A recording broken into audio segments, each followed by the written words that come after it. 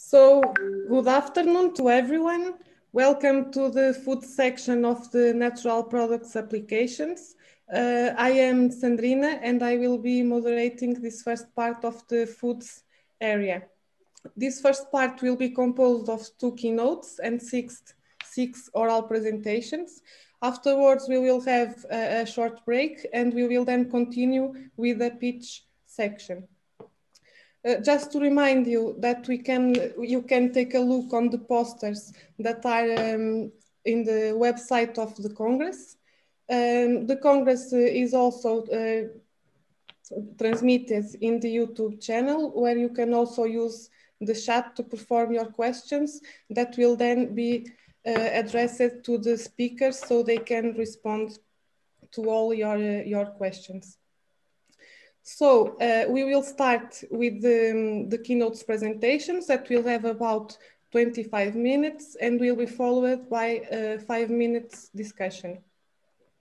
So we will start with the first keynote uh, presentation. It is for me a great pleasure to present you Professor Manuela Pintado. Professor Manuela Pintado has a, a PhD in biotechnology in the specialty of uh, engineering and uh, food sciences. Currently, she is a professor at the Faculty of Bio Biotechnology at the University of Porto, where she is also the director of the Biotechnology School and of the Biotechnology and Chemistry Center. Pleasure to present you. In the research field, she is the coordinator of the group of bio biological based products and leader of the thematic research laboratory for bio bioactive and bioproducts. Professor Manuela Pintado is also a member of the IBET Advisory Board, a member of the strategic group for agri-food, forest and biodiversity and member of the Strategic Group for Circular Economy, Vice President of the Scientific Council for Natural and Environmental Sciences of uh, FCT. She is also the coordinator of the Evaluation Committee for the final reports of FCT, Vice President, Vice President sorry, of the European Chitin uh, Society, Professor Manuela is also the president of the group of bioactive compounds of the ISEKI, Food Association since 2014. Uh, 14. She was also the coordinator of the Department of Science Services of the industry. From her research work, she has also uh, until now published hundreds of um, scientific manuscripts that leads, leads to um, a recognition by the Ciência Vita, Viva program as one of the female faces of the Portuguese science community. So I think this will be a very interesting keynote for us to listen. So Professor Manuela, you have the, the word. Oh, thank you, Sandrina. I think you, it's it's a, a lot of names, and uh, in fact, I'm I, am i am just a simple researcher, uh, loving this area of antimicrobials. And that's uh, among our research studies. We have been isolating a lot of bioactive components. And today I'm going to present you um, some antimicrobial solutions have natural, uh, in fact, that we have been um, applying to different food applications. So it's a pleasure to be here today. I want to thank the organizing committee that invite me and of course uh, to CIMO and all the other institutions that are integrating this uh, fantastic uh, event. So um, just uh, moving fast, I, uh, we are dealing today in, in, in food systems and food area uh, challenges to 20 to the 2050. we have in fact um, a problem with the consumer that uh, at moment is not just so passive. Is looking every day to the to the labels is analyzing the labels and is really aware of the interrelation between the food the health and the well-being. So in fact for him now to to to, to have the a specific diet to have a specific food is really important because he understands that there is a very a direct influence of the food and his health. So at the same time, uh, they are requiring special nutrients, special uh, um, ingredients uh, to improve some chronic diseases. But today, especially, I'm going to talk more about preservation. So uh, we need also to deal for uh, this future about the public health regulations and policies that in fact are imposing to the food industry with a lot of constraints, especially with additives. So in fact, uh, the artificial is a public enemy for food industry they are dealing with this problem because in fact nobody wants in nowadays to see synthetic compounds in their food products. So consumers are increasingly looking for natural and net less processed food products. So uh, the food preservatives in, in fact has been uh, dealing with a problem for food industry because uh, since some years ago i think everyone is concerned about several of the synthetic preservatives has because they have been uh, uh, associated with different cancer and different uh, health diseases. And this is in fact a problem because the industry in some cases, they were only uh, knowing and applying synthetic ingredients and suddenly they need to to, to fight with this problem. They need to find new natural solutions. And of course, when you talk about synthetic additives, it's easier because they are very concentrated, they are very specific in targets, but in fact, then it's very difficult to replace them because in natural uh, uh, ingredients or additives, we don't find such specific components because you have mixtures, you'll see. So in fact, the most of these current solutions are uh, a problem for the consumers, for the industry. So we need to increase uh, what we call in nowadays uh, a great demand for the clean label. And that means less additives and less uh, uh, synthetic preservatives and much, much more natural foods. So the clean label is increasing every day. So I would say that at the moment, all the processing industry, food industries are, are uh, thinking about the clean label, not only to reduce uh, the preservatives, but also all the other negative uh, ingredients or additives like the sugar, the salt, and so on. And in fact, when we look to a food product and we look to the label, we want to see just natural things. Every consumer is avoiding GMOs.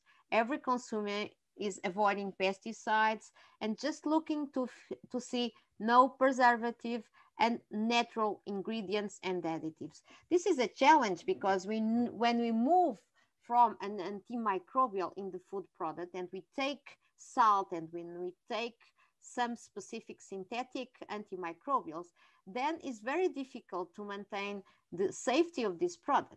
Uh, sometimes we can maintain the sensory, but then the, the safety is, is a constraint. And in fact, is is compulsory for the food industry to put all the products in the market with the required safety, because otherwise would be a very serious problem for them. So in fact, the, during the last uh, 10, 20 years, there has been a lot, a long uh, list of researchers working with antimicrobials or natural ingredients and natural additives. So when you talk about natural additives for food uh, applications, usually one of the most important, in fact, are antimicrobials, but also very related with them, we have antioxidants. In fact, most of the antioxidant uh, extracts from uh, different sources, they are also uh, have sometimes these antimicrobial properties, so are really related but also uh, related with these natural uh, antimicrobials, we also consider from natural sources other agents, ingredients tech, like texturizer, colors, and so on. So in fact, today I'm going to focus on especially preservatives. And when you talk about preservatives, you talk about antimicrobials and antioxidants. Of course, when you talk about food products, we, as you know, we have a huge range of food products, and especially those that are not so processed that we sometimes call fresh products, uh, uh, and with a very short shelf life. These food uh, preservatives, antioxidants, and antimicrobials are in fact very, very important. And we are talking about cheese, meat, uh, some fruits, fish. So when you talk about these food products and then even the processed products, we need to, to find solutions to replace the synthetic uh, preservatives and replace with some natural sources.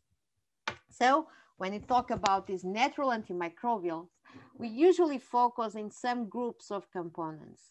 We are talking some of them already in the market about enzymes. Especially we have important levels of enzymes uh, in milk, for instance, but we also have already purified enzymes like lysozyme, lactoperoxidase. They are natural uh, antimicrobials.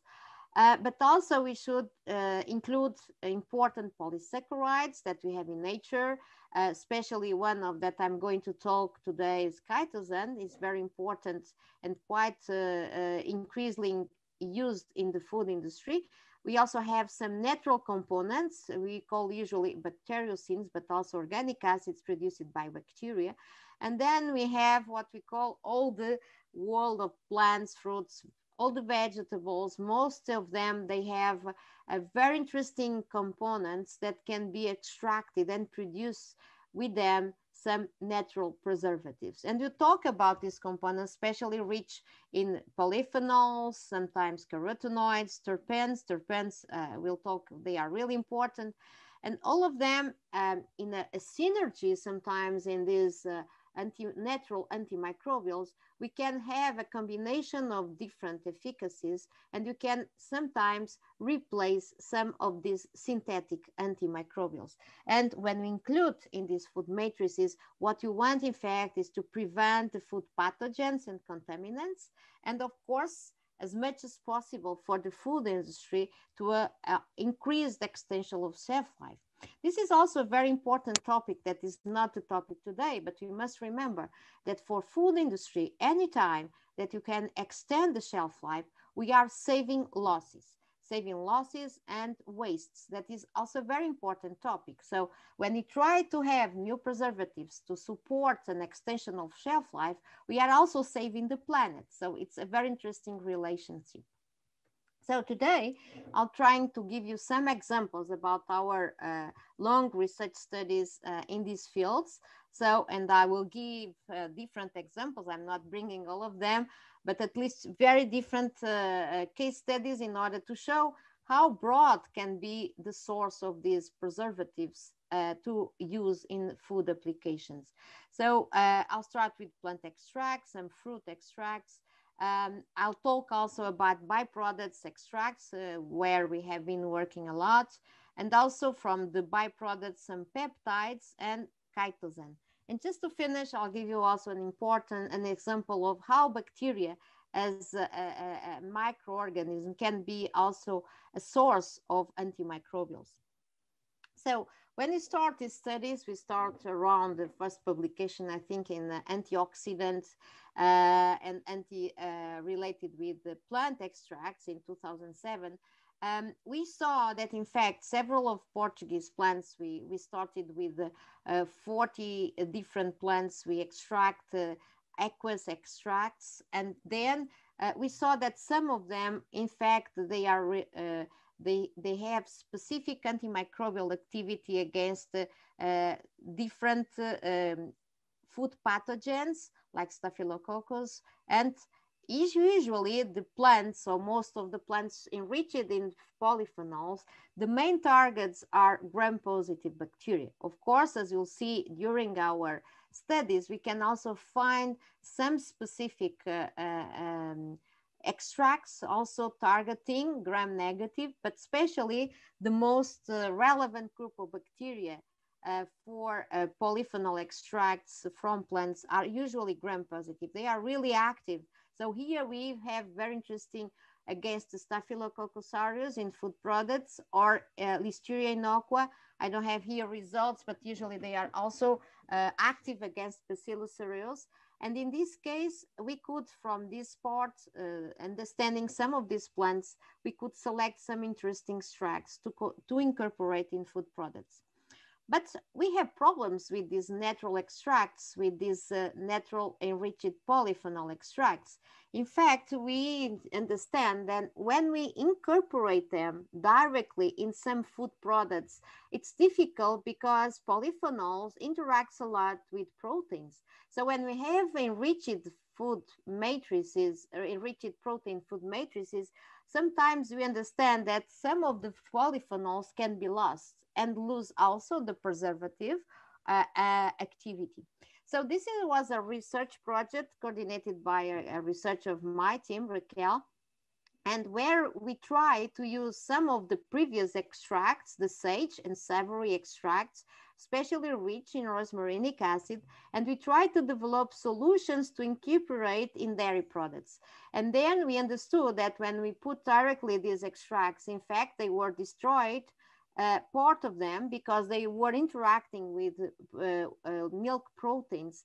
So here we try to minimize impact. And so several times we need to encapsulate these polyphenol extracts as natural preservatives to preserve the activity. Although um, they, we expect to, ex to expand or extend the shelf life of the products, we also aim sometimes with these antimicrobial extracts to have health benefits. So at the same time, they can inhibit pathogens in the food products. We can also use these solutions uh, carried in the food products to inhibit some of the food pathogens in the gut. And this was the objective. So using also these extracts to produce uh, antimicrobial particles, antioxidant particles that could have benefits there directly in the gut. So here we were developing carriers to support these uh, antimicrobial antioxidant extracts. Uh, in this case, we have been developing uh, solid lipid nanoparticles, very interesting, high, very high encapsulation efficiencies. Uh, we could uh, dry these particles and then we could incorporate them in yogurt. And we could see that these particles were not affecting the microbiological quality of yogurt that, as you know, probably we need to have uh, the specific uh, yogurt bacteria at levels higher than 10 to the 6. So we could maintain with these particles the stability of the yogurt, but also we could then demonstrate that these particles throughout the gastrointestinal tract, they were released specifically in the gut and where this polyphenol, specifically the high level of rosmarinic acid, was released to have antimicrobial activity just against pathogens and selectively not affecting our natural microbiome in the gut. Also, we have been studying not only aqueous or ethanolic extracts, we also have been extracting, uh, in this case, um, uh, essential oils from aromatic plants, some uh, very known, as you know, coriander, petrosilio, but also some native, um, like uh, carqueja in Portuguese, this uh, and oxinium. Um, and in this case, what we have been doing after this oil extraction was also to try to encapsulate. And why? In fact, uh, when we look to the essential oil, is in fact for me, from a, a microbiologist perspective, um, in fact, they are really a very relevant antimicrobial agents. They have a broad spectrum. They are active against gram-positive, gram-negative molds, uh, yeasts. But in fact, they have a problem that can be a benefit because we can include it, this as a benefit due to the aroma of these uh, essential oils. But at the same time, for some type of products, we don't want this specific flavor. So we want to activity, but we need to reduce sometimes this aroma to avoid and to constrain this problem in the final food product. So in this case, what we usually, we try to do here was to encapsulate in cyclodextrins uh, with a high efficiency. In this case, the system is, uh, is a good system either for essential oils or for aqueous extracts. And it is a very easy technique to encapsulate. And what we were demonstrating is that after encapsulation, in fact, the aroma is reducing. So when we, we, we, we uh, buy the product, the aroma is not so strong. But when we uh, ingest this uh, product in the mouth, we can have a release of these aromas in the same way. So we can increase the uh, uh, aspect and the sensory quality visually of the product and at the same time can have also this uh, strong flavor. However, this case is specifically interesting as a flavor antimicrobial at the same time to develop new products but we always uh, even encapsulate we cannot eliminate completely all the aroma from these products. In some cases we can reduce. However these capsules were really interesting. We could develop fresh cheese spread cheese butter and also pate and what we were analyzing in these food products is besides we can have interesting sensory properties, we could significantly increase the shelf life of all of them, especially the pate the, that has a, the fresh pate has a very short uh, uh, shelf life. Uh, and also we could avoid oxidation. So at the same time, we could avoid lipid oxidation and especially for the pate was really interesting because we could maintain much more the natural uh, flavor of meat, avoiding this lipid oxidation. Also, throughout our studies, we have been working with native uh, products in Portugal. So, uh, a corn from the Quercus and ilex. Uh, we we have been studying different parts of these uh, of these fruits. We have been studying uh, especially uh, roasted uh, the cotyledon. We have been producing coffee, and from these products, we have been trying to understand. And in fact, this extract is really a strong antioxidant. It's very rich in uh, tannins uh, and we uh, demonstrate even the spread is also quite focused on gram-positive bacteria, but we have a very interesting uh, uh, uh, spectrum of antimicrobial activity with it. We can see here, for instance, a listeria in, uh, uh, listeria in this case is innocuous, but the result is the same for monocytogenes, is one of the problems of the food industry. And you can see here in uh, just two hours, the roasted uh, uh, extract uh, rich in polyphenols from um, this corn, we can inhibit it completely high levels of listeria. So it's a very active um, antimicrobial extracts. Also from fruits, uh, we have been working with a company. They are producing a lot of stems. So stems during the sour cherry, who is Portuguese, maybe knows the name of ginja. We have been producing uh, extracts from the stems. They have a tons of, and tons of this uh, waste. So when they produce uh, this very interesting uh, uh, sherry um, liquor, they, they have uh, in each summer uh, tons of stems and we were producing natural antimicrobial extracts with it. We could demonstrate a strong efficacy. In this case, uh, we were selecting different solvents. Of course, we tried to use solvents food grade, uh, although the ethanolic extracts were, were good. The best one in this case was ethyl acetate. And we were then incorporating these extracts in carboxymethyl uh, cellulose antimicrobial uh, films. So we can see a very interesting thing.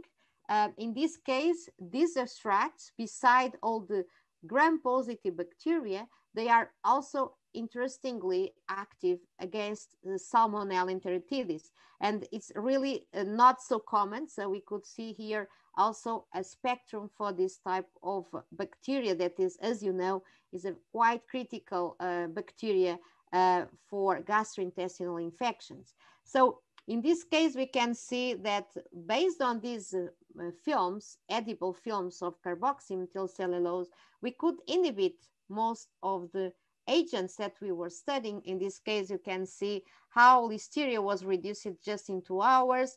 So salmonella also, and we can demonstrate that if you wrap or if you produce a coating for different food products, we can in fact inhibit the contamination and the growth of these food pathogens.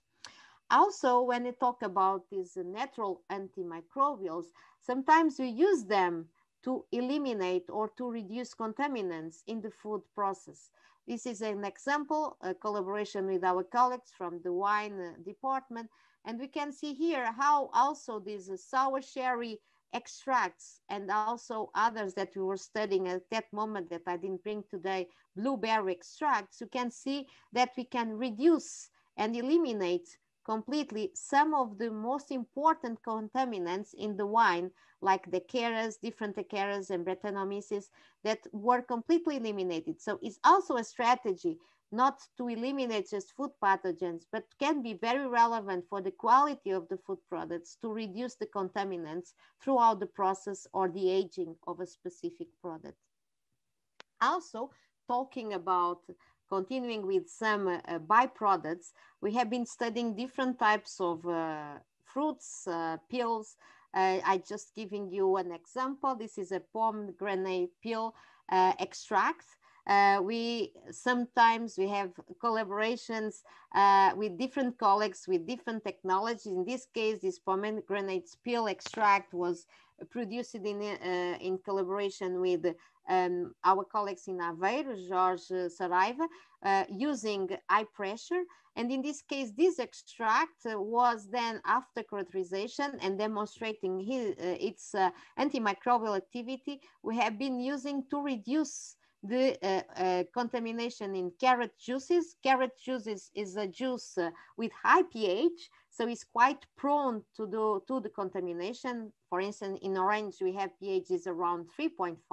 In carrot, we have higher uh, pH, so it's more prone to be uh, contaminated. And we have been using this extract to enrich these, uh, these juices on one side, we are adding antioxidant activity, and on the other side, we are increasing the shelf life. So in this case, we can see here that uh, after 28 days, this is a minimum processed juice, so it's not uh, ultra ultra pasteurized, it's uh, just pasteurized. And we can see that just after 28 year, days, sorry, we can we can decrease um, we can decrease the level of contamination. So, and in this case, we demonstrate, and we were also then prolonging the, the shelf life, that sometimes prolonging one or two days the shelf life of the food product is, is very important economically for a, a company. So uh, even 11% is a, uh, not so much, in this case, one day, two days, three days, four days are really important for a food industry because they can save a lot of money. And especially, as I told you previously, we can save a lot of losses and waste. That is also re really important for the food industry. So also different, moving to another ingredient, we have been working with whey as a byproduct. Uh, from, yeah. Sorry to interrupt you. Two more minutes. Okay. Okay. So maybe I'm moving to, to just to show you antimicrobial activity. And here is just to show you that antimicrobial peptides can be also very relevant. In this case, we have um, peptides obtained by ultrafiltration. And in this case, this is an example of two different extracts, one with lower molecular weight, 1000, and another one 3000. And you can see how these peptides can inhibit completely different microorganisms, gram positive and gram negative too. So also just to, um, we have been uh, uh, chitosan, just to show you some examples, we have been producing in this case, you can see in these pictures, in these photos, some images with how chitosan is destroying on the right the different uh, uh, Staphylococcus aureus. And you can see that we can incorporate, in this case is an example where we were incorporating in goat uh, sausages uh, as an antioxidant and as a functional ingredient, but also we could extend the shelf life of these uh, specific sausages or can be incorporated in coatings. Uh, we did this with for cheese, or we can even produce chitosan nanoparticles that can be also be used in this case are uh, nanoparticles produced with ionic gelation and we could demonstrate they can be released in the gut after gastrointestinal tract and we can have effective antimicrobial activity in the gut against different E. coli, Staphylococcus, uh, in this case, Yersinia, Salmonella, reducing 99% of these bacteria. So in fact, we can have also effect at health, uh, at health level with this antimicrobial. Just leave you with some uh, images um, uh, showing how these, uh, these particles can, can in fact, uh, and I would stay here because I don't want to um, uh, delay the program. So five minutes for questions are really crucial. I'm open to respond all your questions. Thank you so much.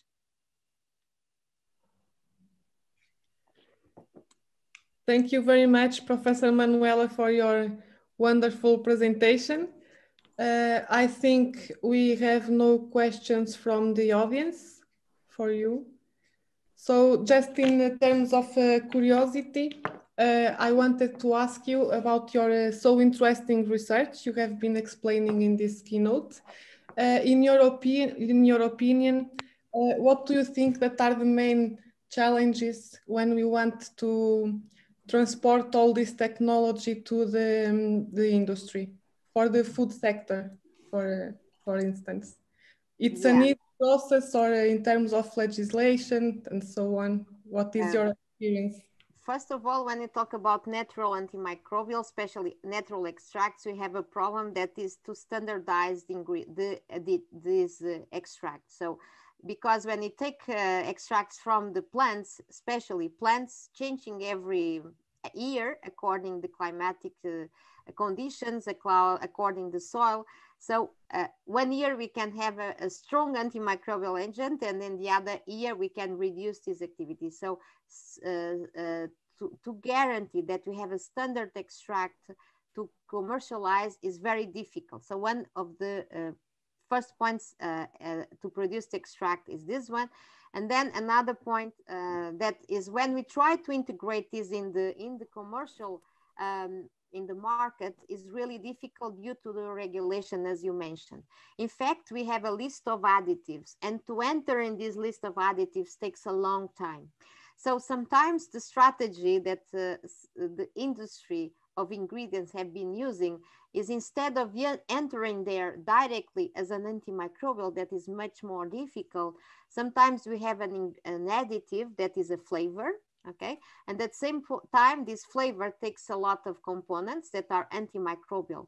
And we can sell this as a flavoring, and at the same time, we can have impact in the microbiology of the final product. So this is a strategy, but in fact is a barrier. So I would say that um, the standardization of the ingredient, the antimicrobial, uh, the, the antimicrobial legislation for food products is another barrier.